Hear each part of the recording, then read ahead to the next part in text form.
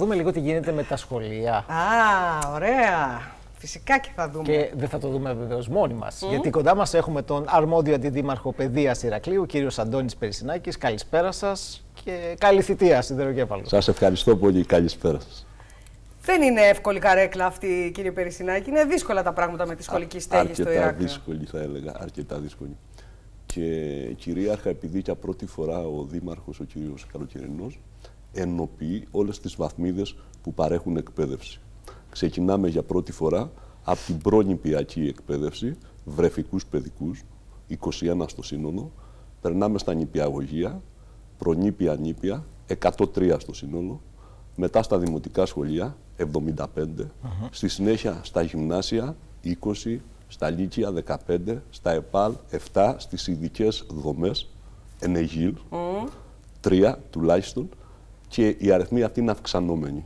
Δηλαδή, μιλάμε στο σύνολο για 250 σχολικές μονάδες, οι οποίες καθημερινά θέλουν ιδιαίτερη φροντίδα. Mm -hmm. Ας το πάρουμε με τη σειρά, λοιπόν. Καταρχάς, είπατε για τους βρεφικούς παιδικούς σταθμούς. Μας φτάνουν, δεν μας φτάνουν. Γιατί ξέρω ότι κάθε χρόνο μένουν έξω πολλά παιδιά. Έτσι ακριβώς.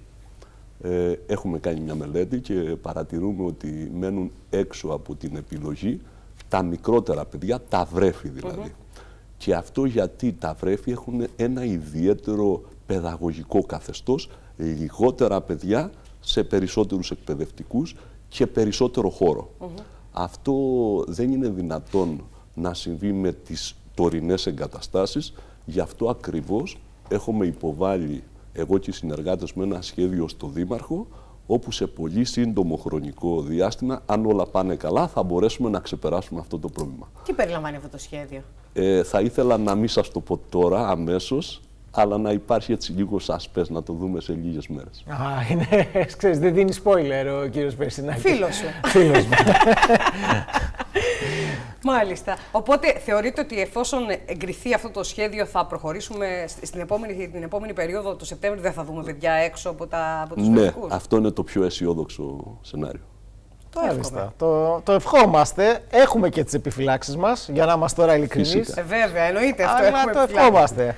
Μακάρι. Και τώρα... μετά; Στη συνέχεια θα προσχωρήσουμε σε οικονομία κλίμα, κλίμακας, ε, γιατί θα πρέπει πλέον να διαχειριστούμε ένα πολύ μεγάλο αριθμό παιδιών.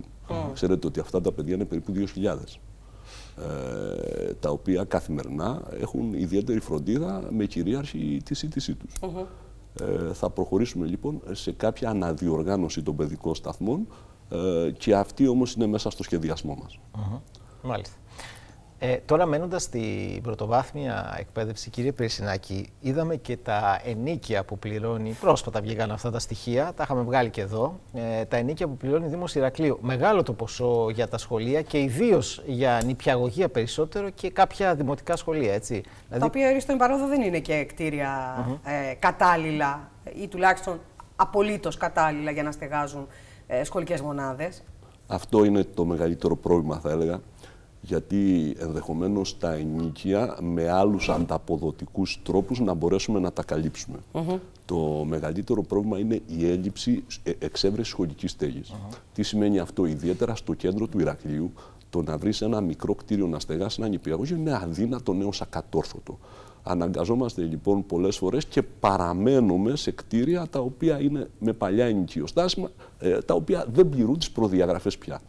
Ε, είναι λόγοι ανάγκης και όχι οι λόγοι πραγματικοί, γιατί η αγορά δυστυχώς δεν διαθέτει τώρα, όπως βλέπετε, ούτε οι οικίες για τους δημότες. Πολύ περισσότερο τέτοια κτίρια για ειδικές δομές. Mm Πάντως υπάρχουν κάποιες εκτάσεις που γενικώς για, για σχολική στέγη, αλλά είναι εκτός δηλαδή, του αστικού ιστού και στον καρτερό. Μιλάμε και για τα πρώην στρατόπεδα. Κάτι εκεί υπάρχει στα σκαριά, κύριε Περσινάκη, θα μπορούσαν να αξιοποιηθούν; Φυσικά και το γνωρίζω καλά το θέμα, γιατί είμαι αυτός που ίδρυσε το Δημοτικό Σχολείο Καρτερού. Καρτερού ε, για, για την ακρίβεια το 2008 και βρισκόμαστε, τότε ο πάλε ποτέ Δήμος Νέας Αϊκάνσου και βρισκόμαστε τώρα στο 2024 και ενώ η έκταση έχει παραχωρηθεί, δυστυχώς έχουμε καταφέρει να φτιάξουμε μόνο το νηπιαγωγείο και όχι το δημοτικό σχολείο. Αυτό βρίσκεται στα σχέδια της Δημοτικής Αρχής και θα προσπαθήσουμε να το υλοποιήσουμε άμεσα με οποιοδήποτε τρόπο. Ακόμα και αν χρειαστεί, πριν ολοκληρωθούν οι μελέτες από το Υπουργείο Παιδείας να μεταφέρουμε ε, λιώμενες κατασκευές στο χώρο. Ε, γιατί σημειωτέων ε, γίνονται μελέτες ε, προκειμένου να ανεγερθεί ένα ε, σχολικό συγκρότημα στην περιοχή. Ναι. Σωστό, γιατί υπάρχει μεγάλο πρόβλημα τώρα στον Καρτερό και είναι κάποια παιδάκια που είναι στο νηπιαγωγείο, αλλά και άλλα είναι πολύ κοντά. Δηλαδή, μια οικογένεια μπορεί να έχει παιδί στο νηπιαγωγείο, να έχει όμως και για το, σε ηλικία δημοτικού σχολείου. Οπότε θα πρέπει να συνδυαστεί. Και είναι μια ταχαίω αναπτυσσόμενη Βέβαια. ε, περιοχή. Και μια πολύ όμορφη περιοχή του Ηρακλείου, η οποία ομολογουμένως τα τελευταία χρόνια θα χρειαζόταν ισχυρότερη ανάπτυξη. Μμμ. Νομίζω ότι και αυτή την μπλόκα οικονομική ε, κρίση, όπως και άλλες η πολλές κρίση περιοχές. και όλα αυτά που έχουμε περάσει τα τελευταία χρόνια, τα οποία ήταν σπάνια και νομίζω και εύχομαι να μην ξανασυμβούν ποτέ. Πάντως είναι φοβερό, κύριε Πρεσινάκη. Από το 2008 και έχουμε φτάσει στο 2024 και έχουμε μόνο τον νηπιαγωγείο. Δείχνει όμως και τη δυσκολία και την καθυστέρηση, τη χρόνο καθυστέρηση που έχει η δημόσια διοίκηση. Αυτό. Στην οποία τίποτα δεν είναι ευνόητο. Αγωνιζόμαστε όλοι, δίνουμε τον καλύτερο εαυτό μας. Ε, φανταστείτε ότι ο σημερινός πρόεδρος του Πολιτιστικού Συλλόγου, μετά από τόσα χρόνια, ήταν αυτός που έκανε την πρόταση το 2008. Ναι. Και αγωνίζεται ασταμάτητα ο άνθρωπος και μάλιστα του λέω που βρίσκεις τόσο κουράγιο; Ευτυχώς Ακόμα που προς υπάρχουν τον κι ίδιο αυτοί. στόχο. Έτσι. Ναι, Ευτυχώς που υπάρχουν και αυτοί Έτσι ακριβώς. που έχουν ακόμα στόχους. Γιατί ε, με, με, με τους ρυθμούς που πηγαίνει αυτό το κράτος, κανονικά θα έπρεπε, θα έπρεπε όλοι να έχουν μετικήσει έτσι που πάει η κατάσταση. Εγώ αυτό που μπορώ να υποσχεθώ είναι ότι θα είμαστε δίπλα σε αυτούς τους ανθρώπους γιατί θεωρούμε ότι πρέπει να δικαιωθούν ακόμα και μετά από τόσα χρόνια. Πάντως υπάρχει πρόβλημα και στα υπάρχοντα σχολεία. Δηλαδή έχουμε πολλά ανοιχτά μέτωπα. Το Γερονιμάκιο, για παράδειγμα, είναι ένα Ε, σχολείο που έχει και έχει, αυτό. έχει ολοκληρωθεί. Έχει ολοκληρωθεί.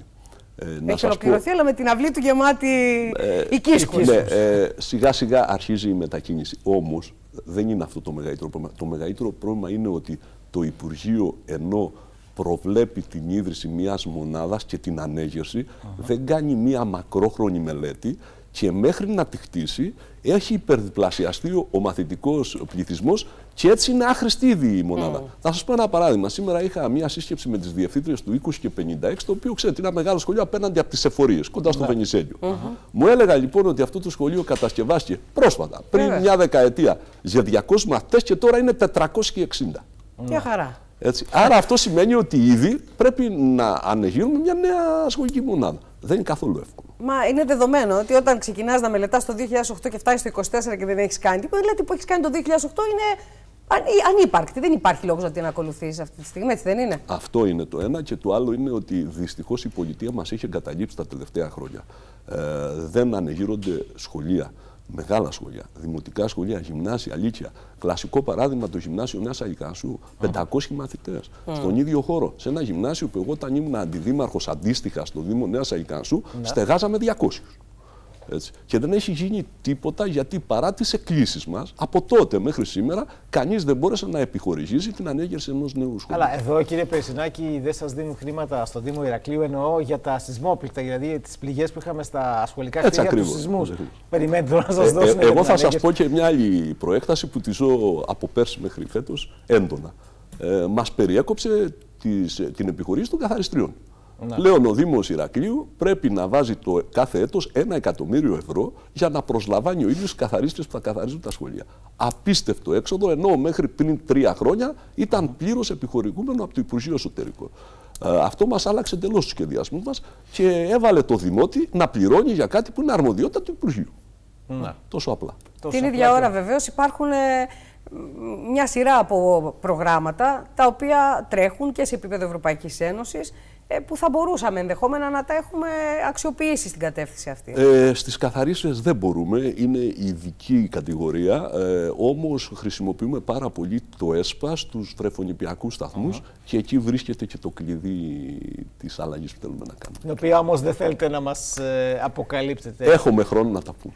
Λοιπόν, να σας πάμε και σε ένα άλλο κομμάτι, γιατί είναι και θέμα επικαιρότητας. Τι γίνεται με τους ελέγχους στα σχολεία, ρωτάει και πολλοί κόσμος. Είχαμε πρόσφατα στην Κρήτη πολλά έτσι απανοτά περιστατικά ηλεκτροπληξίας. Το είδαμε και στο γυμνάσιο στα Μάλια με μία μαθήτρια στο στολισμό του Χριστουγεννιάτικου δέντρου. Τις προάλλες πριν από λίγες ημέρες στο πειραματικό στο Ρέθυμνο που έπαθε ηλεκτροπληξία ένας καθηγητής που πήγε να φορτίσει απλά το λάπτοπ. Τι γίνεται λοιπόν με την κατάσταση στην οποία είναι τα σχολεία και αν γίνονται έλεγχοι από τους Δήμους; Είναι πολύ σωστή η παρατήρηση σας. Μας έχει προβληματίσει και μάλιστα σε μια σύσκεψη πρόσφατα με τον ε, αρμόδιο αντιδήμαρχο των τεχνικών υπηρεσιών, τον κύριο Σισαμάκη Γιώργο, ε, συστήσαμε μια ομάδα άμεσης επέμβασης στα επίγοντα θέματα. Ε, παράλληλα, έχουμε προμηθεύσει όλους τους διευθυντές των μεγάλων σχολείων ε, με ένα ειδικό πρόγραμμα. Τώρα εντάσσουμε και τους βρεφονιπιακούς σε αυτό το λογισμικό, όπου καθημερινά μπορούν να μας στέλνουν την άμεση ανάγκη τους. Ε, να μην περνάει να μην χάνουμε χρόνο σε άσκοπη αλληλογραφία ηλεκτρονικά. Εμείς το ελέγχουμε, βλέπουμε αν επήγει ή όχι και θέτουμε προτεραιότητες. Δηλαδή, σε ένα τέτοιο πρόβλημα ηλεκτροπληξίας ενός διακόπτη χαλασμένου, αν μη τι άλλο, ο διευθυντής, ο οποίος είναι υπεύθυνος για τη λειτουργία της μονάδας, πρέπει να μας ειδοποιήσει άμεσα, να μας πει: Οπ, SOS, κίνδυνος. Τρέξτε.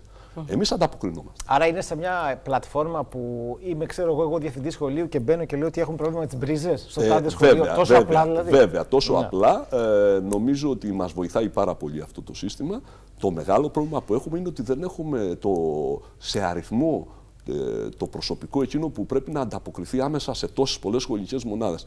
Αλλά δόξα τω Θεώ, οι άνθρωποι κάνουν με φιλότιμο τη δουλειά τους και προσπαθούμε να ικανοποιήσουμε όσο το δυνατόν περισσότερες μονάδες καθημερινά. Θεωρώ ότι οι διευθυντές είναι ικανοποιημένοι γιατί γνωρίζουν την αδυναμία που έχουμε σε κάποιες ειδικότητες. Αυτό τώρα με το, με το προσωπικό είναι πολύ μεγάλο αγκάθ και πρέπει να, το, να δείτε πώς θα, θα λυθεί ίσως με κάποιο ε, τρόπο. Έχω κάνει μία πρόταση και φτιάχνουμε και μία δεύτερη ομάδα τώρα από το τεχνικό προσωπικό που βρήκα στον καταργούμενο, στο καταργούμενο νομικό πρόσωπο Δοπαθμάη, το οποίο προσπαθώ να το συνενώσω τώρα με τις τεχνικές υπηρεσίες και να έχουμε άλλη μία ομάδα άμεσης επέμβασης. Είναι εξαιρετική στη δουλειά τους και είναι πολύ έμπειροι σε παιδιά γιατί ε, ασκούσαν έργο στους βρεφονιπιακούς σταθμούς. Η κατάργηση αυτή σας έχει βάλει δύσκολα ενώ και στα διαδικαστικά, έτσι, στα βέβαια, διαδικαστικά. Ε, βέβαια, για μένα είναι πρωτόγνωρη γιατί φανταστείτε ότι έχουμε περίπου 273 άτομα προσωπικού που θα πρέπει να συνενωθούν ε, με οποιαδήποτε σχέση εργασίας με το Δήμο. Αυτό σημαίνει μεγάλες αλλαγές από το απλό θέμα της μισθοδοσίας τους, την οποία έχουμε εξασφαλίσει μέχρι τον Ιούνιο, δεν υπάρχει κανένα πρόβλημα, μέχρι την ένταξή τους ε, σε υπηρεσίες. Ο καθένας έχει τη δική του ειδικότητα, άλλος διοικητικός, άλλος λογισ... ε, οικονομικά, λογιστικά, άλλος παιδαγωγικό και όλους αυτούς προσπαθούμε να τους εντάξουμε ε, στην κατηγορία. Ε, για μας μεγάλη διευκόλυνση θα ήταν φυσικά και αυτό προετοιμάζουμε το Δήμαρχο η δημιουργία ενός νέου εσωτερικού οργανισμού, ενός νέου οργανισμού του Δήμου, όπου θα θέσει ε, τις νέες απαιτήσεις που απαιτεί η εποχή μας, γιατί ο προηγούμενος ήταν του Α, οπότε έρχεται εσωτερικός κανονισμός για το Δήμο καινούριο; Κάτσε, μη βιάζεσαι, γιατί είναι πάντα δύσκολο καυτή πατάτα ο εσωτερικός ε, οργανισμός. Μη βιάζεσαι, μπέρι μου. Τα ξέρει ο κ. Πεσινάκη. Όσο δύσκολο κι αν είναι, είμαστε υποχρεωμένοι να ανταποκριθούμε στις ανάγκες και στις απαιτήσεις της εποχής. Το ξεβόλεμα όμως. Δεν, δεν με αφορά το συγκεκριμένο ζήτημα. Μια χαρά. Σαφής. Λοιπόν, ε, δεν μπορούμε να μην σας ρωτήσουμε, επειδή είστε άριστος γνώστης και των θεμάτων της Νέας Αλκαρνασού. Έχουμε στην επικαιρότητα είναι το θέμα της ε, μετεγκατάσταση των Ρωμά, ε, εντάξει, είχαμε και χθες το Δημοτικό Συμβούλιο. Έχουμε και αντιδράσεις από την πλευρά των Ρωμά, κύριε Περσινάκη. Εσείς πώς τα βλέπετε και νομίζω ότι έχετε και ιδία εμπειρία. Έτσι, είστε σε πολύ στενή επαφή και με τους μαθητές και με τους ανθρώπους τη Έτσι, έτσι ακριβώς. Και... Νομίζω ότι είστε σε σχολείο που είναι εδώ ναι, στην Αλκανασό ναι, και έχει ναι. σχέση. Ε, υπάρχουν, έχουν πολλούς μαθητές Ρωμά, έτσι Πράγματι, δεν είναι; είμαι διευθυντής στο 4ο Δημοτικό Σχολείο Νέας Αϊκάσου, το σχολείο της Αγάπης το οποίο έχει περίπου 70 μαθητές Ρωμά από τον ε, καταβλισμό που βρίσκεται βορειοδυτικά. Ε, αυτό όμως ε, με κάνει να βλέπω με λίγο ιδιαίτερο τρόπο όλα αυτά που αφορούν τους Ρωμά. Ε, για ένα δημότη ίσως είναι κάτι άγνωστο, κάτι μυστήριο. Για μένα είναι καθαρά συναισθηματικό, γιατί κάθε πρωί που πηγαίνω στο σχολείο με περιμένουν τα παιδάκια μου, τους μιλάω, ανταλλάσσουμε ε, το πρωί ε, ευχάριστες κουβέντες και αυτό με κάνει να βλέπω καθημερινά ότι έχουν εξελιχθεί πάρα πολύ και ότι έχουν ενταχθεί πλέον στην κοινωνία. Τα σύγχρονα ζευγάρια το Ρωμά δεν διαφέρουν από τα δικά μας. Βέβαια, η μεγάλη διαφορά είναι στις ε, συνθήκες ε, διαβίωσης τους. Θεωρώ ότι η πρόταση που γίνεται από το Δήμο δεν είναι κάτι εξαιρετικά ιδανικό, θα είμαι ξεκάθαρος. Χαιρόμαστε που το λέτε. Γιατί... Αλλά είναι μία όμορφη, πρόσκαιρη λύση για όποιον έχει ανάγκη μίας στέγης η οποία θα πληρεί κάποια στάνταρ σύγχρονα, όπως είναι η ενεργειακή κατάσταση του σπιτιού, η συνένωση ε, ανάλογα με τα μέλη των οικογενειών ε, της προκατοικίας είναι προκατασκευασμένα. Δεν είναι αυτό που λένε box, ISO box. Είναι προκατασκευασμένα. Είναι σύγχρονα προκατασκευασμένα σπίτια. Α, δεν θα είναι οικίσκη όπως έχουμε δει για παράδειγμα. Όχι τέτοιου είδους από ό,τι γνωρίζω. νομίζω, νομίζω από την πληροφόρηση που έχω είναι προκατασκευασμένα σπίτια όπως αυτά που χτίζουμε όλοι. Ε, βέβαια, ομολογουμένως, μικρά σε μέγεθος, αλλά έχουν τη δυνατότητα της συνένωσης. Δηλαδή, αν μια οικογένεια είναι δύο άτομα, μπορεί να παίρνει παράδειγμα 50 τετραγωνικά. Αν μια οικογένεια έχει τρία άτομα, μπορούμε να συνενώνουμε, να αυξάνουμε το. Είναι μια ε, ε, όχι ιδανική, πλην όμως ενδεδειγμένη λύση. Εγώ θα συμβούλευα τους φίλους μου, τους Ρωμά, και λέω τους φίλους μου, γιατί πραγματικά έχω πάρα πολλούς φίλους, με αρκετούς από αυτούς έχουμε μεγαλώσει στην Αγικανσό μαζί όλα αυτά τα χρόνια.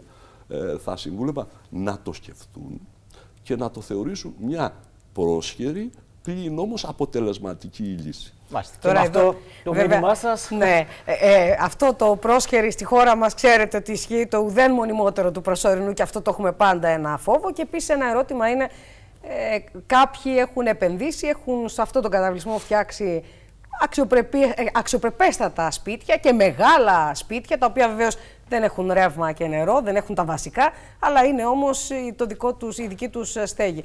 Πώς θα τους ε, μετεγκαταστήσουμε σε ένα προκατασκευασμένο σπίτι που ενδεχόμενα σε μερικά χρόνια να τους πούμε άντε, πάτε και από εκεί. Ε, επειδή θεωρώ ότι στις δημοκρατίες τα πάντα έχουν μία λύση, είμαστε σε θέση να συζητήσουμε μαζί τους και να ακούσουμε τις απόψεις τους και τις προτάσεις τους. Εχθές το Δημοτικό Συμβούλιο όμως με λύπη παρατήρησα ότι δεν προσήλθαν να καταθέσουν προτάσεις.